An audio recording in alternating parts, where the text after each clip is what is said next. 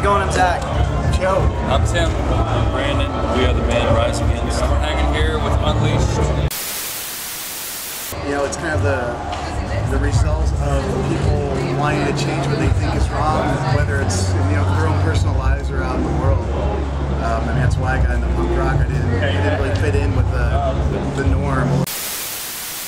Factory farming is something that's so distant from people's idea of what a farm really is. You know, that kind of thing doesn't really exist anymore. Our chickens are something like three times the weight. Um, they're genetically bred to produce more eggs, produce more breast meat, you know, that kind of thing. So they're very mutant sort of animals that will never be able to survive in the wild.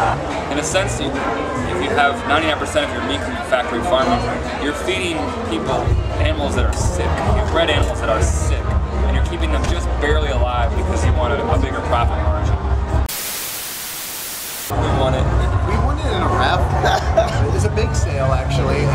first name was the Little Prince of the Prince. Timmy Mack in the attack. That was going to be fun. That was, that was gonna be a thing. Right. I mean, no. In all honesty, Jethro Tull was taken. Yeah. Who, who would have thought? Who'd have thought that? Yeah. Some, it's almost like someone just gave us the opportunity, like like they gave us a microphone and said, if you could say anything to the world right now, what would you say? You know. So here we had access to the airwaves. Here we had we were hijacking the airwaves for three minutes. Somebody, you know, for some reason gave us the right to play something on TV for three minutes. So it was like, well, what can we do? We could all, you know, go around and stage some big rock show where we look like we're super famous, or going around limos, or do you know do something very self-gratifying.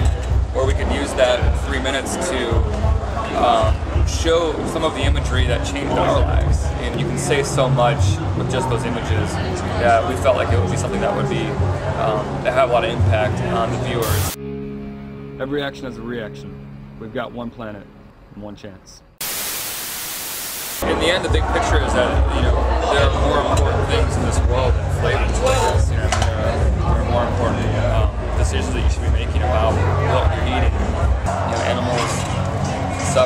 they aren't put here just for our for our benefit.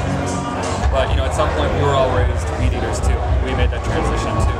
So I think that at the same time, I feel like uh, we have a lot in common with people who do eat meat because we were people who ate meat as well. You know.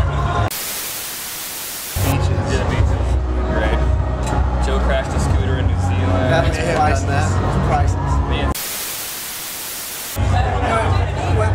Decision to become vegetarians, especially touring and traveling around, it was so much more difficult than it is now. It seems like now there's a soy milk option at every coffee shop. There's a vegetarian sandwich almost everywhere you go. People should know there's there's a, a, a veggie alternative for almost every Yeah. form of meat.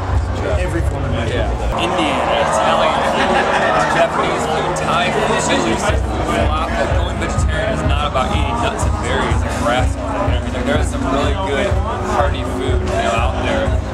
give that up. I guess just thanks for all the love. You know, it's been amazing. Every time we come back, it gets better and better. Hey, what's up, Rise Against? You can check out more information about vegetarianism and veganism and animal rights at unleashed.org.au.